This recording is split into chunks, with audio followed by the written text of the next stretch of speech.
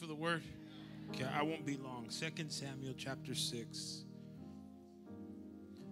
The title of my message is God is looking for a house to bless. God is looking for a house to bless. If we could all stand for the reading of the word, Second Samuel chapter 6. Look at your neighbor, tell him, God is looking for a house to bless.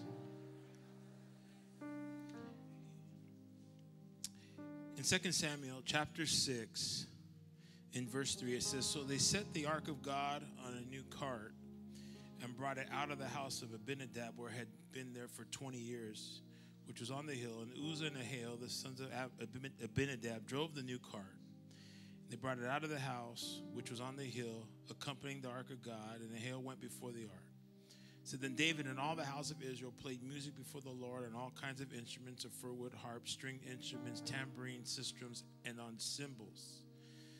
Now it says, when they came to Nachon's threshing floor, Uzzah put out his hand to the ark of God and took hold of it, for the oxen had stumbled. And this is the part it says, Then the anger of the Lord was aroused against Uzzah, and God struck him there for his error and he died there by the ark of God.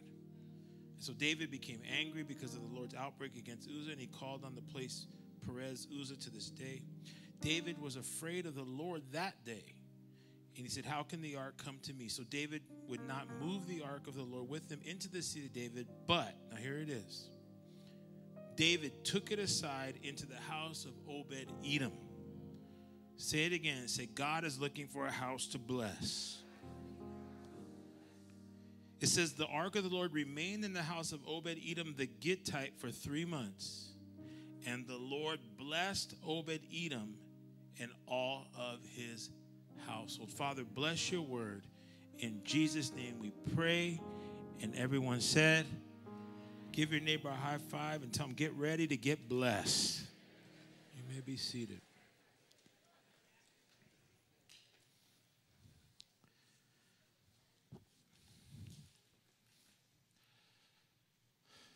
The presence of the Lord is in this place.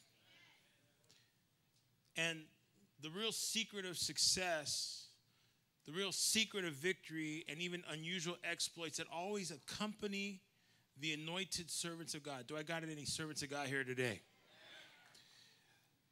The secret of success to the servant of God is the fact that God's presence is always with them. That's the secret of success. Whatever it is that you believe God has called you to do, if you want to be successful, you need to have the presence of the Lord. My question is where would we be without the presence of the Lord? The Bible says in Malachi, it says, Test me in this, that I would not throw open the floodgates of heaven and pour out a blessing. Somebody say, blessing. A blessing you could not contain. Understand me. The true riches of God cannot be kept in a bank account. The true riches of God cannot be put in a storehouse. The true riches of God cannot be hidden in a shoebox in a closet. Come on, ladies.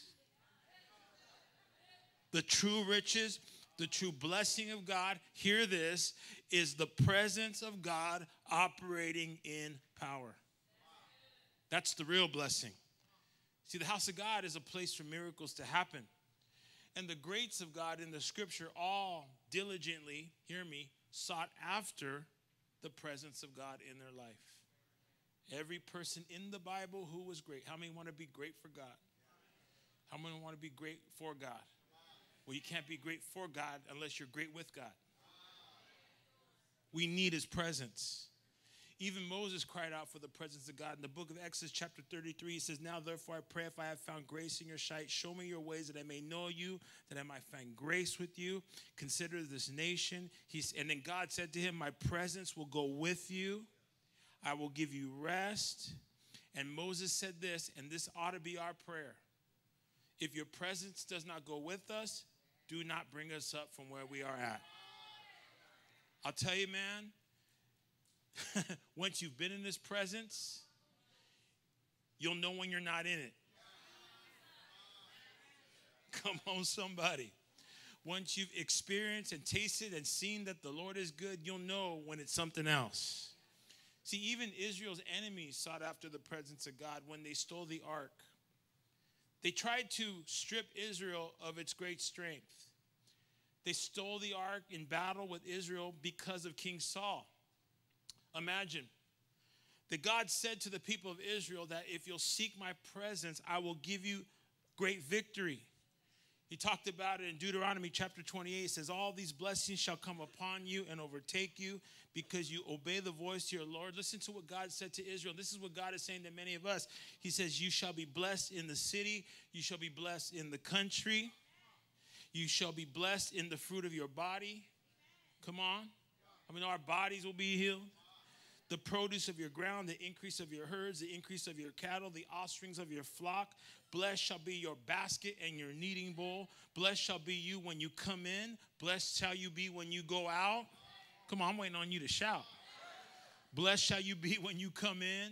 Blessed shall you be when you go out. And here's what he said He said, The Lord will cause your enemies who rise against you to be defeated before your face. In other words, you're not going to have to fight. God says, I'm going to fight for you. All the presence of the Lord is in this place. He says, and they shall go out and flee seven ways. Picture your haters fleeing, set, fleeing seven ways. Picture your critics fleeing seven ways. Come on, somebody. Picture your opponents that are trying to come against you, trying to frustrate you, trying to stop what God is. Guess what? When God shows up and his presence shows up, they can't hang out no more. They got to flee. Come on, somebody. You got to kick the devil out of your life. And imagine this great promise of his presence that King Saul, it says, and it has been documented, that he did not inquire of the Lord not once. Pastor Mark, he alluded to his daughter who despised David for dancing out of his clothes, but it really wasn't her fault, it was her dad's fault. That instead of inquiring of the Lord, he inquired of mediums. He went to tarot cards, he went to psychics, he went to the horoscope. You ain't saying that. See, it's quiet up in here. Imagine being the king of Israel, and the Lord says, I will be with you if you obey my command. And Saul did not inquire of the Lord, not even once. I want to tell you something, church. The presence of God is important. We can't do anything without his presence. We can have a victory here and there, but how many want to have sustained victory? How many want to walk in constant power? Who wants to walk in constant favor and constant blessing and constant protection? It's the presence of the Lord. It's the blessing of the Lord that brings favor, that brings protection, that causes our enemies to flee seven different ways. That's why David, King David, when he became king, his first mission was to recapture the blessing. In, in 2 Samuel 6, he pushes the Philistines out of the territory and then he recaptures the blessing. And that needs to be someone's first mission here this morning. See, because the reason we're not winning is because something's missing. You might have money, but something's missing. You might have a relationship, but something's missing. You might have a good job, but something's missing. And you got to make your first mission to recapture the presence of the Lord. You've got to make it your first mission. Somebody say, first mission. David's first mission was to fight for God's presence. Because the blessing of the Lord is real, the blessing of the Lord is necessary, the blessing of the Lord is possible when we choose his blessing. So here's David and he goes after the ark that was at Abinadab's house for 20 years. And David goes and he gets it and he puts it on a new cart, the Bible says. And he's trucking it up to the city of David. He built a tent to put it in. He wanted to have the presence of the Lord there. But then the Bible says that God's anger was stirred against Uzzah when the cart failed they hit a pothole, and the ark began to slip. And Uzzah, with every good intention of heart, goes out to save the ark, but the presence of the Lord strikes him dead. Now, I know it's confusing to some. You say, What? he was trying to do a good thing. And what killed Uzzah was that he tried to do the right thing, but he did it the wrong way. Which stirred the anger of God towards David and towards Uzzah was that it was the Philistines who transported the ark by cart.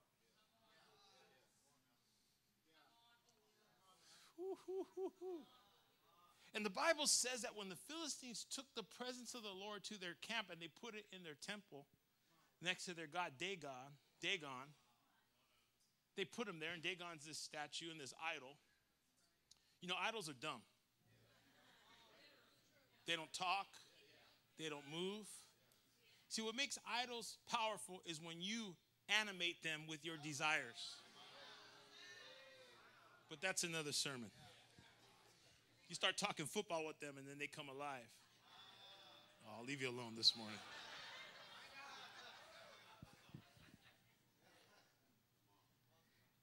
And the Bible says that when they would go check on Dagon in the morning, he was positioned next to the ark, but he'd be tipped over. Come on now.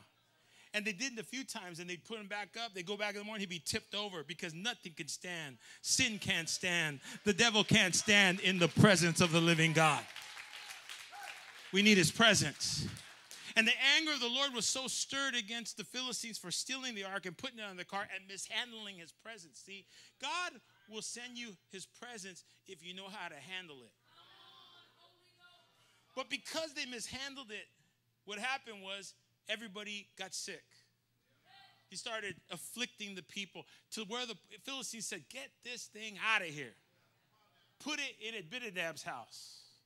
So here comes David and Uzzah with all the best intentions to get a hold of the presence of God, but they went about it the wrong way. And I want to talk to some of you who are hungry for God, but you don't know how to handle His presence. We must learn how to handle His presence. We need a generation that will know how to handle His presence. We need leaders that know how to handle His presence. Mm. See, what angers the Lord, hear me, and this is a strong point here, but I feel to preach it. What angers the Lord is when the church tries to create and fabricate and copy the world. The presence of the Lord is not in the light show. The presence of the Lord is not in the LED screens. The presence of the Lord is not in the coffee we serve in the cafe. It's strong, but it ain't the real anointing. The presence of the Lord cannot be copied, it cannot be fabricated, it cannot be worked up. It is not emotional, it's not even the music. The presence of the Lord is when the people of God allow the Holy Spirit to do what only He can do. It's when the people of God come before the Lord, not with pride, not acting like they got it all together, not acting like they got the best gifts in the house, not acting like they're the best preacher or the best leader or the best, but they come broken before the Lord. Like Pastor Jerome said, I just came out of prison. I was an alcoholic, I was a drunk, there are even some church kids in this place that you think you can fabricate the presence of the Lord, but God is looking for a new generation that will be broken of their pride, broken. I'm going to leave you alone, but can anybody shout on this word this morning? See, the reason, woo, you're going to love this point. The reason Uzzah was struck dead is because God wanted the ark to fall.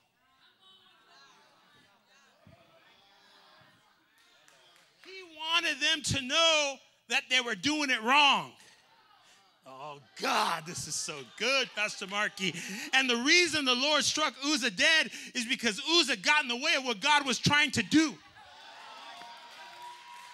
Oh Lord, help us. Oh, Lord, help the leader that's trying to get in the way of what God is trying to do. Lord, help the pastor that's trying to get in the way of what God, because he says, I'm going to do what I got to do with you or without you. Come on, somebody. We got to learn how to handle the presence of God. If God's got to move you, He'll move you so that His power could break out. Come on and shout in this place. And everybody was afraid. Everybody was afraid. God says, if you want me, how many want the Lord? How many want the Lord? He says, and you got to learn how to handle me. Look at your neighbor and ask him, can you handle the blessing?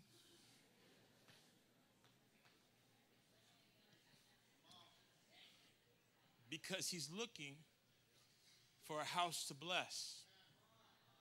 Can you handle the blessing?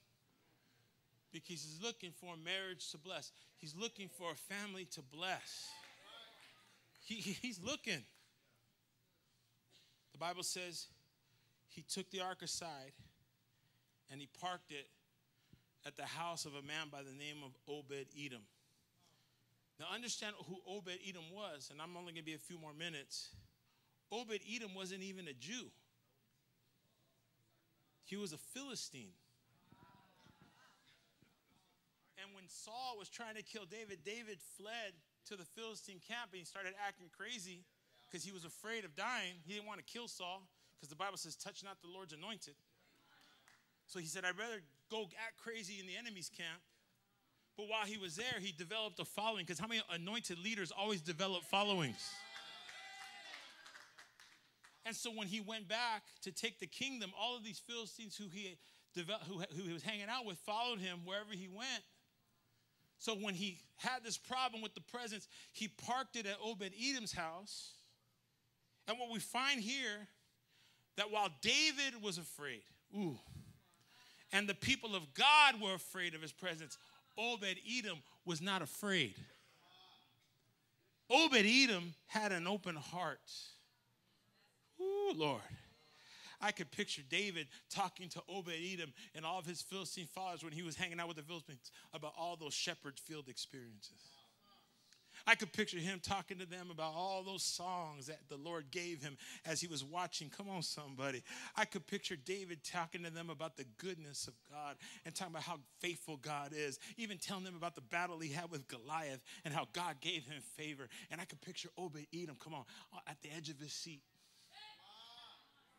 not back in church, all religious like some of us do. No, he he said, Come on, David, tell me more. There is more. I've never heard of this power. I've never heard of this God. If God can do it for you, I wonder if God could do it for me. If God could break, come on, if God could break you through, I wonder if God, come on, if God could call you. Oh, God, if you know this God, I want to know this God too. How many of you have a hunger for God? So Obed Edom opened up his heart to the presence of the Lord. Understand me, brothers, that the Lord wants to come in. In Revelations 3:20 says, Here I am, I stand at the door and knock. If anyone hears my voice and opens the door, I will come in. And I will eat with them. I will sup with them. You see, Obed Edom had an open heart. The second thing is he had an open home. And I'm almost done. Your home never opens until your heart opens first. Your heart is the home for the Holy Spirit. A closed heart is a closed home, but an open heart is an open home. And what Obed Edom actually did is he welcomed in the tangible presence of God into his home. Because the ark was representative of the worship of Israel. And the Lord said, wherever the ark is, there's going to be victory. It was the ark that parted the Jordan River when they came out of the wilderness and went into the promised land. The presence of the Lord was on the ark. And when Obed Edom opened up his heart, he opened up his home and he brought in the presence of God into his home. Brothers and sisters, don't you understand the power of God's presence in your home? I'll tell you, man, I've been married a long time. I've raised four kids, put them all through the same elementary, all through the same middle school, all through the same high school. Riz is the last one. She'll be graduating this year. Yeah. That's right. Clap for me and Georgina. Clap for us because we did we did that. And more her, she more did that. And I could tell you something about our home. We don't have a perfect home. You don't? No. But the presence of God is in our home. And if you want to have a successful home, you don't need a perfect home. You just need his presence in your home. Come on, who can clap in this place? Fight to keep the presence. See, when you come to church, you don't come to get his presence, you come to bring the presence that's already in your home. And the same anointing that's here is the same anointing that could be there. Obed Edom opened his heart and then he opened up his home to the ark of God. And when he brought the ark, listen to me, you're going to love this. He not only brought in the ark, but he brought in everything that was in the ark. Do you understand that there was a lid on that thing? You had the mercy seat on top, because I mean, no, mercy's always on top. The Shekinah glory, they would sprinkle the blood on the mercy seat for the forgiveness of the people. Somebody say mercy. So, what did he bring into his home? He didn't just bring in an ark, he brought in mercy. Mercy, mercy, mercy. Where is the mercy, Mr. Percy? Then they opened up the lid, right, Pastor Joe? And they had the pot with the manna. And the manna represents the provision of God. See, when we bring in the ark, we don't just bring in the mercy. Woo! We bring in the provision. My boss is not my provider. Come on, somebody. The government is not my provider. It's God who puts manna in the bowl. It's God who brings home the bacon. It's God who puts bread on the table. It's God that provides. He's the God. I may not have everything I want, but man, I got everything that I need. Somebody shout in this place. It wasn't just the ark, it's what was in the ark the bowl with the manna. What about Aaron's rod? God gave Moses a rod and he gave Aaron a rod. And they went to Pharaoh. He told Aaron, you, you throw that rod down in front of Pharaoh. When his sorcerers come out, you throw that rod down, and stuff's gonna happen. When we bring God's presence in, brothers and sisters, we don't just bring in the mercy, we don't just bring in the provision, but we say, oh, here, guess what? Stuff's gonna happen. Miracles don't just have don't just have to happen at this altar. Miracles can happen in your living room. He's looking for a house to bless. Miracles could happen in your kid's bedroom. Miracles could happen in your backyard. Come on, somebody.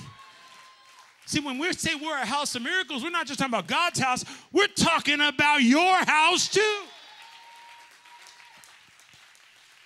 Aaron's rod budded and almonds came out. Things happen.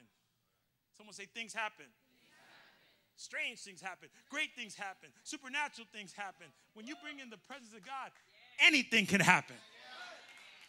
Those almonds represented new things. Woo! Those almonds represented new fruit, new life, new dreams. New, see, God's not done with you yet. I said, The Lord is not dead. Come on, somebody.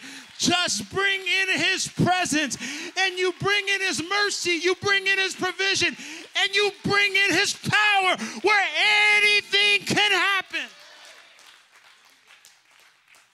What else was in the ark? the law, the stone tablets, the Ten Commandments. Some of you have them posted on your wall at home. Good. You should. Because that's the standard. Woo! Obed Edom just didn't bring in the mercy and bring in the provision and bring in the supernatural, but he brought in a new standard. Something happens when a couple So I said to you a few weeks ago, someone quoted it to me this week. Said, Pastor, I love what you said that if you don't like what you're building, start over. I was talking about marriage, wasn't I? Missional marriage. I said, if you don't like what you've built, I don't care if you've been married 20 years. Here's the good news you get to start over. But this time, when you start over, start over with the right standard. He brought in the ark, he brought in the mercy, he brought in the provision, he brought in Aaron's staff, which was the miracles, anything that happened, and then he brought in the standard. Someone say the standard. It's time we raise the standard. It's time we tell those kids on Sunday, we don't stay home. I don't care if you're on TikTok or YouTube all night. Get your little behind up, and we're going to the house of God. Come on, help me preach a little bit. I'm having a good time. I don't care who you got to text and FaceTime with, and you were up all night burning the midnight oil. Don't you understand? As for me and my house, we shall serve the Lord. You may not like the preaching, you may not like the music, but guess what? You're still going to go. Because if you live in my house, it's God's rules and it's my rules. Bring back the standard. Everybody comes to church. Well, I'm just living here renting. Guess what? Renters go to church too.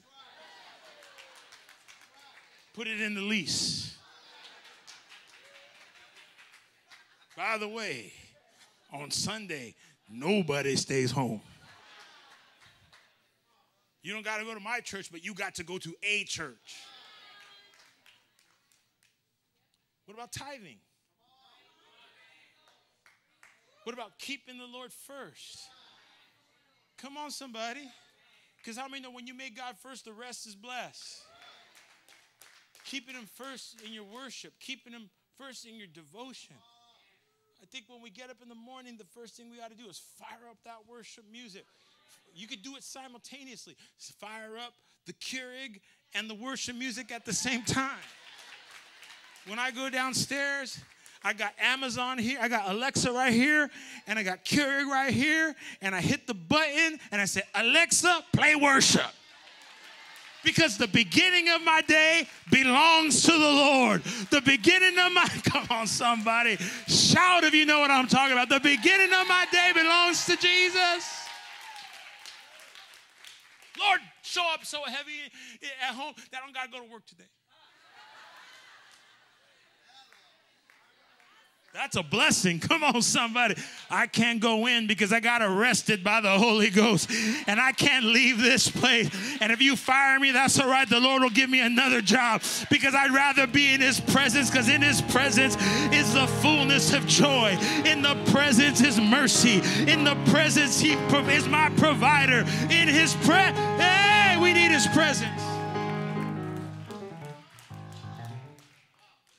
looking for a house to bless. Stay close. He's looking for a house to bless. How about your house? How about your house? Why can't he bless your house? Why can't he show up in your house? Why can't there be prayer meetings at your house? Why can't there be house fires at your house? Why can't there be blessing at your house? Why can't there be healing at your house? Why can't there be breakthrough at your house? Why can't your children catch the Holy Ghost at your house? Come on. Why can't there be worship in your I'm going to keep preaching till you just catch a hold of this word. Why can't there be worship? Why can't there be financial increase? He's looking for a house to bless. He's looking for a family to bless. He's looking to do something mighty. Touch your neighbor and tell him his presence is real. Touch your second choice and tell him anything can happen. See, the presence of the Lord opened up his heart. Hear me. Opened up his home, but here's the final point, and I'm going to send you home on this. It changed and opened up his heritage. You study, because they said the ark is at Obed Edom's house 90 days. Someone say 90 days. And let me tell you what happened when the presence of God got into Obed Edom's house. It got crazy up in there. In a good, in a good kind of crazy. In a good way. Someone say a good way. It was crazy. Stuff started happening. And they said, the Lord is, they went to there and said, the Lord is blessing this man. Rabbinical literature says that instead of being afraid of the ark, Pastor Jerome, Obed Edom would get in the morning and burn a candle in front of the ark. It would burn all day, and then when it went out at night, he'd come and bring a new candle in honoring the ark, honoring the presence of the Lord. And when he did that, according to rabbinical literature, the ark started moving. And they said, The blessing of the Lord is on Obed Edom's house, David. Now, what was the blessing? For Obed Edom, the blessing came in the form of children.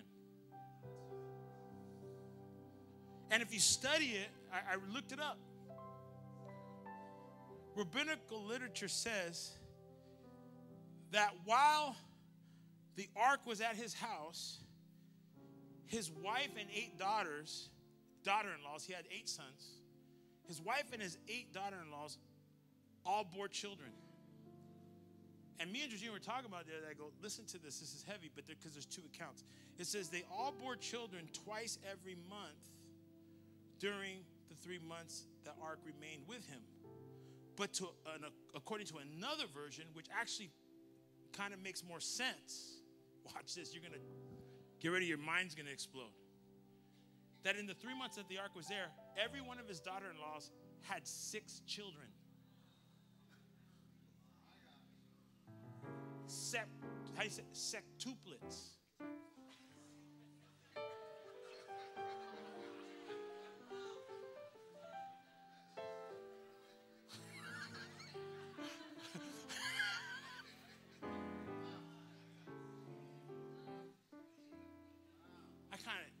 Find it curious that when the presence of God showed up in our church, how many young women started getting pregnant? I don't know. I'm just throwing that out there. I just found it. I know how that happens.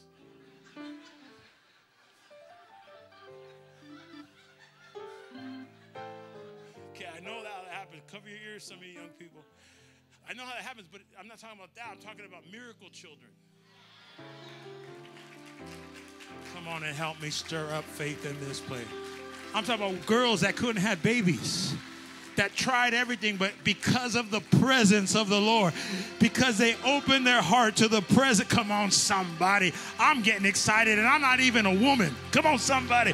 Because they opened up their heart and they opened up their home, God began to lift up and raise up their heritage because the Bible says that children are a heritage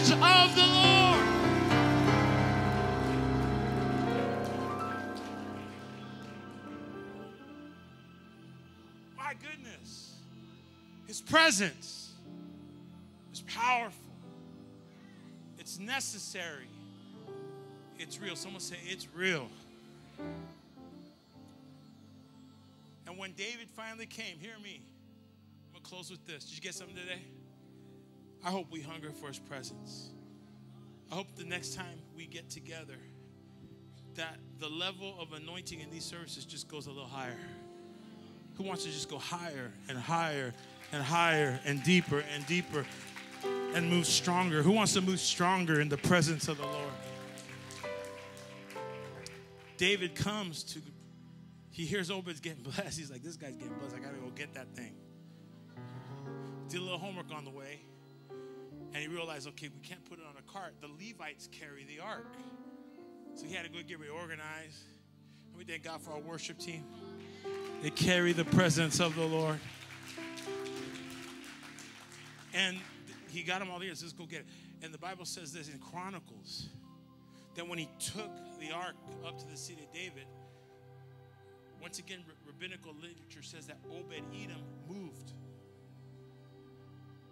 He didn't stay in his house, he sold it. He rented it out. He's like, You can have it, bro. I'm going with the ark. He packed up,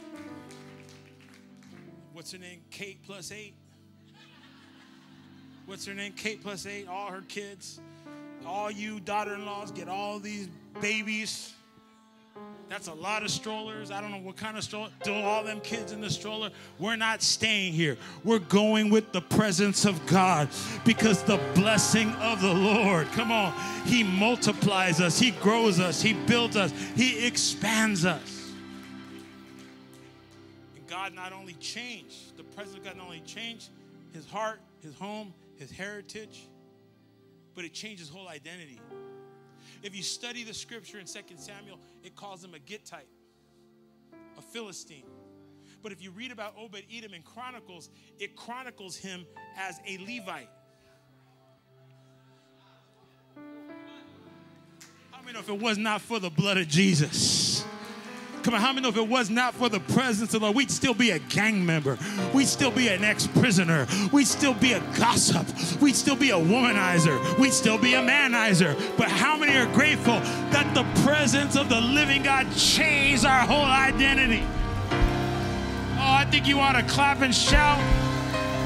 I feel a praise coming on this morning. I feel like there's a praise. I feel like we can rejoice over revelation. We can rejoice over what the Lord. How many say it was the presence of the Lord that changed my life? And all 60 plus of them went with David. And they just go hang out. The Lord raised them up. Woo. God always raises somebody up who's familiar with his presence. The Bible tells us that all his children were put in a place of authority.